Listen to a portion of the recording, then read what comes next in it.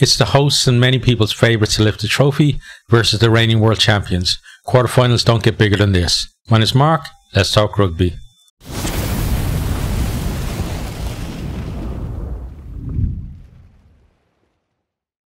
Rugby World Cup 2023 quarterfinal number 4 France versus South Africa. This is at the Stade de France in Saint Denis, just outside Paris. It's on Sunday, 15th of October.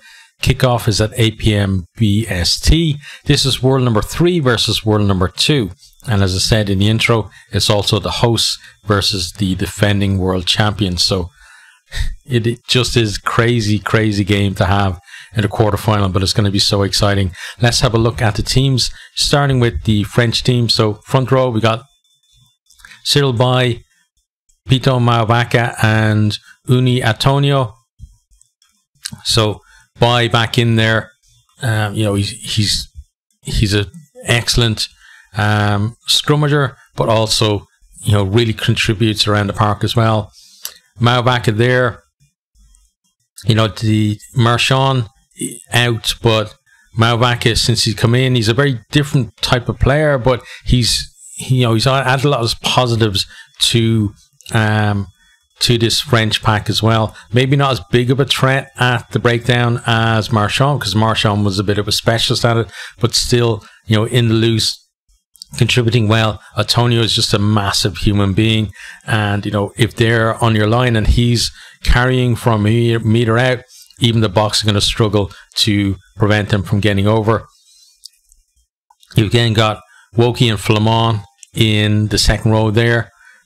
Really nice combination between those two. Woki, we've seen him get up there and attacking opposition lineouts. That's going to be very interesting in this one because we saw the Springboks do the same to Ireland as well. So, you know, the the locking battle in this game you know, there's massive battles all across the field, but the locking battle, you know, could be one where, you know, the set piece is, is going to go one way or the other, depending on that. And yeah, Woki just getting up there and, you know, nicking lineouts or just disrupting. He's been really good at that. Flament, um, great con contribution from him as well. And, you know, it's, it's a quality second row pairing quality again in the back row. You got Anthony Jelonch, Charles, Charles Ollivon, and Gregory Alldritt. Alldritt, I think, has probably, for me at least, has been the standout of them for the tournament. He's been on excellent form. Like the, they're they're all great players, but he just stood out that little bit more for me. And you know he's going to have to have a massive game uh, on Sunday if France are actually going to you know keep that dream of winning the World Cup at home in Paris alive. Talking about like dreams have been rested on someone's shoulders. Antoine Dupont, he's back. You know, he had that, what was it, a fracture or a break in his jaw or um, whatever it was. Like, he, he's back already. It's crazy. Like, the guy is just super, super human. And not sure how long he's going to last through the, you know, the, the game, whether it's going to be, you know, almost, you know, full 80 minute performance or will he come off, you know, with 30 minutes to go? But Lucu, he's been in deputizing and, you know, he's been good as well. So it, it's not the big fear that maybe it would have been, you know, before the tournament that Dupont was like the linchpin of the team, and there's there's a big drop off. Lucu, like Dupont, you can't replace him. Like he's he's just a like a player of his generation, as it were. The, the same way the Seve is for New Zealand, I think that you know you get players who can who can rise up to that level on occasion, but to be consistently at that level is just crazy, crazy good. And that's what Dupont is for this team. So how long he stays on is going to be very important. Now, you know, just obviously going to be, you know, people are going to be watching the first time that he, he goes into heavy contact. But I saw one where, um, in training this week, he was in contact with one of, I can't remember, was it, was it Jalibert or was it, um, who was it?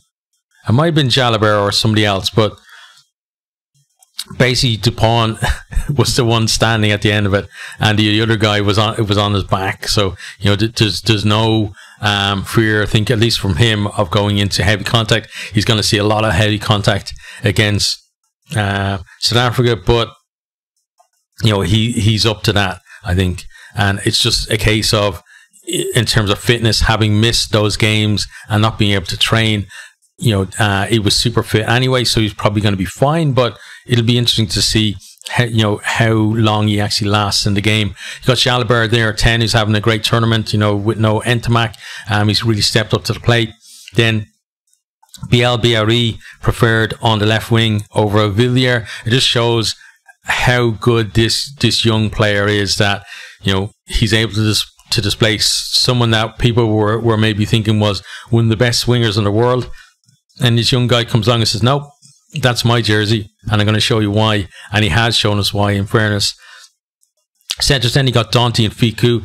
Danty, you know he's he's one of the big threats for them at the breakdown and you know the springboks they've got to watch out for that when he's in there getting over the ball he's got to be cleaned out quickly because otherwise he latches on. Once he latches onto that ball you're not getting him off until the you know the referee blows the whistle for a penalty. Fickou defensive leader also great in attack as well. It's it's just a really nice center combination there. You got Damian Penaud you know, just scoring tries for fun on that right wing as well. Thomas Ramos at fullback there, he's the main kicker, and geez, the guy can kick from almost anywhere. And long range kicking, you know, um, at the posts in this game, I think you're going to see a few from both teams in this one. And if it's a tight game, whoever is can be accurate from those long distances could, you know, play a part in deciding the game as well. Onto the bench then, we have uh, Bourgarit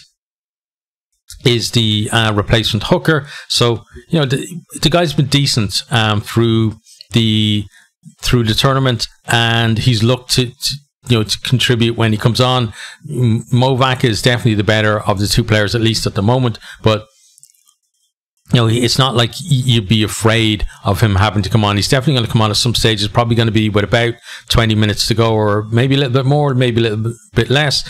Then you got Wardi there and Al for the replacement props. So, you know, d- decent stocks coming off the bench there. You got Romain Taofifenua, who, you know, most people think is very lucky that he's still able to play in this game. He probably should have got a red, red card earlier in the, in the tournament, but you know, him coming on is probably going to be important because again, that set piece, depending on you know, France like to, like to to go up the line a lot and use their um, use their line out. So he's going to be important for that coming on there and making sure that they can secure their own ball. Got uh, François Cros you know, who probably will feel a little bit aggrieved not to actually be starting in this one. But, you know, the, the form of the guys on there, uh, especially, you know, uh, as I said, Alldritt, but Jelonch and Ollivon have been excellent as well, means that, you know, a great player of his caliber just has to, to wait for his chance to come off the bench. Then you got uh, Sekou Macalou, really, you know, great to have him on the bench, I think, for France because he can obviously cover the back row, but know, he's shown his versatility. You can stick him out on the wing and he won't miss a beat there. You could stick him in into your midfield as well. So he's a great option to have on the bench. Then you got Lucu there who has been starting recently as well. So he'll come on and, you know, there won't there won't be that kind of nervousness that there might have been if his first you know start against major opposition in this Rugby World Cup had have been you know in a quarter final. I think he's going to be fine when he comes on. Then you got uh, Mo Moefana there finishing off the bench. So really strong team from France. And then you know talking about strong teams, let's have a look at the Boks. So front row we got Steven Kitshoff and uh, Mbonambi Malherbe. So Kitshoff Mal- and Malherbe, you know, they've been the starting props for, for the big games. Mbonambi is preferred to be the starting hooker as well in this one. So it's a really strong um, front row contingent there. Kitshoff, you know, um, he, he's kind of like himself and Malherbe struggled a little bit in the in the scrum, but around the park they've been really good. Kitshoff especially, he's another breakdown threat for you know latching onto that ball and winning the penalties as well. And but they would like to improve their performance in the scrum if, if they can do that and perform as well as they have been around the park. Then you know, South Africa are going to have every chance of winning this one. Second row, then you got Etzebeth and Mostert. Etzebeth is another one who is just you know, he's a player of his generation, really, in terms of, of second rows. He's just so good. And, you know, Mostert has been very good as well um, through this through this Rugby World Cup. And there's been so much competition as well to be Etzebeth's partner. And as I said, you know, these two are going to look to to threaten that uh, France line out on the French ball, but they've now also got to be worried with the, especially with Woki in that French second row, that they protect their own ball as well. So that's going to be a hell of a battle to see who comes out on top of that one. Back row there, you got Siya Kolisi, another player like Dupont who had an injury where he should have really, you know, missed the World Cup. The guy's back months in advance and like he, he's just on top form. Uh, you know, just again shows how superhuman some of these guys are to be able to do stuff like that. And he's been in really good form. Two players that really came into form, I think, through the World Cup are his, you know, his partners in there. Pieter-Steph du Toit and Duane Vermeulen because in the rugby championship, if you saw these guys playing, you would have said no. Neither of them, you know, if if, if this game was say tomorrow at that stage, you would have said no. Wouldn't start either of them. There's too many other players who are playing really well, and you know the likes of Kwagga Smith, etc. Um, and these guys just did not look fit, either of them. But through the warm ups and through the pool games, they've gotten back to their fitness and they've gotten back to those peaks that we've seen them before. And you know, they're both worthy of their starts here as well. And the fact that they have those guys behind them who are all in great form as well. There's just tons of great uh, back row stocks there in, in that Boks squad that it means these guys, they have to perform. If not, there are going to be people on the bench who can come on and do the job instead. So they, they know that they've got to give at least you know, um, it depends obviously when the bench comes on, but at least 45, 50 minutes of top class stuff from them is expected. Then another big call here. Well, two big calls went really one in a row. Cobus Reinach starting at nine. He has been kind of the form nine of for the Boks during the pool stages. Like Faf de Klerk, he'd through the rugby championship had played himself and the warm-ups played himself back into being first choice.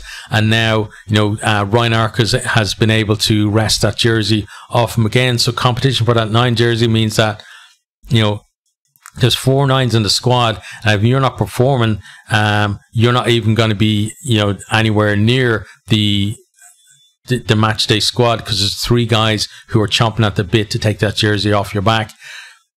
Manny Libbok there 10 you know, a lot of people probably would have expected that Pollard would, would come in to start for this one, but he gives them more in terms of running that back line. And, you know, we'll look at some stats in a little bit, but people think that the Boks kicked the crap out of the ball and, you know, they keep it in the forwards. Sometimes they are guilty of keeping in the forwards when going into backs would be better, but Libbok when when he does have to give it out to the backs, he's I, for me he's the better of the two options in terms of you know finding those passes to put someone through a gap or just organizing things back there as well to make sure that that they can exploit space. And then if you have Pollard coming on then to take crucial kicks towards the end that might actually win the game, maybe that's the best way around to have them. Libbok, though, you know, he was actually decent off the team, the tee last time out as well. So hopefully he's fixed that. And it wasn't just, you know, one good game. And in this one, the nerves are going to get to him again. We'll have to see on that. Left wing, then you got Cheslin Kolbe. He was under pressure for his place through the rugby championship and coming into the warm ups. But, you know, his class, I think, rose to the top a little bit. Guy's been in great form and he's going to be a huge threat both sets of wingers, you know, attack and defense against each other is going to be very important. Centers got Damian de Allende and Jesse Kriel. So, you know, there are a lot of options there in that, that for the center pairings. You know, people might have expected even Canan Moodie to, to be starting this one, but, you know, this is, these guys have shown that they can do it at this level, and you know it's it's a nice pairing there. I think in the centres as well. de Allende, you know, um, he was kind of through the rugby championship. Like Esterhuizen was the guy that looked like he was maybe going to start at 10, but de Allende came back in and, you know, he's again shown why he, he was the preferred 12 previous to that. You got uh, one guy who has really taken his chance is Kurt-Lee Arendse there on the right wing. He's just shown so much better form than Mapimpi that you know, it's been very hard for Mapimpi to get back into the starting side. And then the battle at fullback too. You got Damian Phillips wins that with you know le Roux missing out on a starting position at least. But you know all the competition that the Boks have in terms of positions is really going to help in, in, terms of preparation for this game because it means that the guys who are on there they they, they know they've got to do their job because you know uh, Nienaber won't be um, afraid of just hooking someone that isn't performing and putting somebody on that can perform. Onto the bench then. So you know we've gone for um, a five three split. I saw um, there, there were some um, there were some tweets um, going about like in terms of um, what the, the split would be, and it was like seven one eight zero and then four four with a big question mark after it. But it's a five three split on this one. So got Deon Fourie, who you know a lot of people were um, kind of worried about how he would go with his line throwing in, but in the end, when he started that game at hooker, he he hit his man pretty much every time. Um, now, with the likes of um, you know Woki and Flament on the French side, when he comes on, if they're still there, he, he it's going to be a little bit more pressure in terms of hitting his man because he was you know um, throwing in against very little opposition. You know, in terms of there, there weren't really pods going up against him all that much, but um, you know he's had he's had one good game there and you know, he, I don't, I don't think he's going to be an absolute disaster. At least when he comes on, you got Ox Nché there and Vincent Koch as well. They've looked actually the better props coming off the bench for me um, through the pool stages. Got RG Snyman, who's just a massive human being, and he really does add something when he comes on. Where like he nearly busted through that Irish midfield that one time, like, and you know, the, the, the guy just can give you go forward when maybe others can't, and you know, he does have great impact, especially against tired bodies. Kwagga Smith, if that guy comes on, you know he's going to turn ball over. He's going to win penalties at the breakdown, and maybe he can be part of you know an effort to to switch momentum back into the Boks favor if they need to do it. Got Faf de Klerk there at nine. We all know um, how good he is. And, you know, even though he had a dip in form, he's back to that kind of form again. Handré Pollard, he's going to get his kicks, you know that, and you know he he's got that game under his belt now as well. So when he comes on, there's no kind of concerns about his fitness. Willie le Roux, you know when he comes on as well, you, are going to have a a bit more of a, a playmaker. Willemse is more of a kind of a, a runner kind of thing, looking for gaps. le Roux is a great playmaker as well, and you know he's maybe going to look to put people through gaps. And you know both of them are very solid at the back door, and they're going to have to be as well because a lot of balls are going to come their way up in the air. You know from um, you know from that back three. Um, and also, you know, Dupont likes to box box too. So got you know two very solid options there for them. So how do I think the game is going to go? Well, some people when they look at this game, they probably think that you know it's a game, it's a team that you know loves to to kick the ball versus uh, a team that loves to run the ball. And in some senses, you would be right, but you know you might be thinking that it's the Boks that are the team that like to kick the ball, but the stats will tell you that that is not actually true. Um, through the pool stages, four games each. France kicked 121 times to South Africa's 81, um, and they kicked for a total of 4,309 meters to South Africa's 2,010 meters. So, if there's a team that likes to kick between these two, it's it's the home team, it's France, and that's what I'm talking about with the, with those with the back three for South Africa. There's going to be a lot of kicks coming their way, whether it's you know long kicks from the likes of Ramos or it's box kicks coming from Dupont. They're going to have to be solid under that ball. There's going to be huge competition for for you know uh, around the kind of area where it's landing as well. So you, you've not only got to be solid on the ball, you've also got to be competitive and get up there ahead of the, the you know player that's coming in to try and put you off your stride as well. So that's going to be an important area of the game. And then in terms of you know running the ball, both teams actually run the ball pretty much around this, the same amount. Like France have have uh, carried the ball 476 times to South Africa's 432, so not a huge difference there. And then France have made 2,222 meters, and South Africa almost exactly the same, 2,195. So less than 30 meters between them in terms of ball ball carrying through the tournament. So it show you that you know South Africa they, they can they can move the ball as well. It's not just um, you know the old stereotype of kicking. They've moved away from that you know, seeing those massive forwards, you might think they're forward dominated as well. But, you know, forwards given the platform, but they've got those strike runners in the backs as well who can make ground, and they've been using them to great effect as well. So, with all that said, you know, this is, is another one. Every single quarterfinal is so difficult to, to, to call because South Africa, they, they did lose that one game against Ireland in the pool, but I watched that game. South Africa were amazing in that game, and I, I, I, I honestly can't tell you why they they lost the game. Obviously, um, Ireland were the better team on the night, but that performance in that game was amazing. You just completely took Ireland's um, line out away from them in you know for uh, most of the game. Basically, Ireland had to sort it out in the second half to to just get back on parity. And then they were, you know, they were basically one um, maul away from actually getting the score and then having a conversion to win the game right at the end too. So it was very tight. And you know, France are not going to um, just run away with this. South Africa, they're the world champions. They're not just going to hand the trophy back.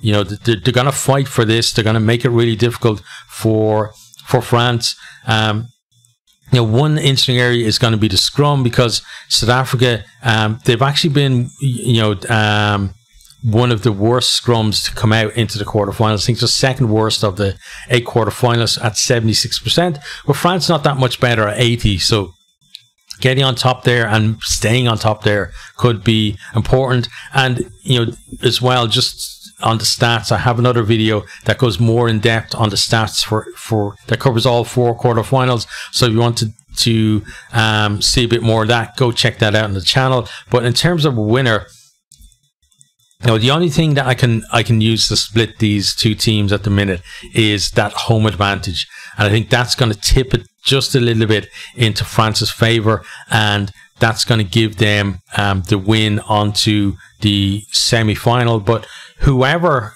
of the whoever wins this and goes on to that semi final, they're going to be an absolutely formidable opponent for you know um, for whoever is is their opposition there. And I think if in fairness, whoever wins the semi final is absolutely going to be the favourite then to go on to and advance to the final from their semi final. So but on this one, I had to pick a winner and I'm going for France.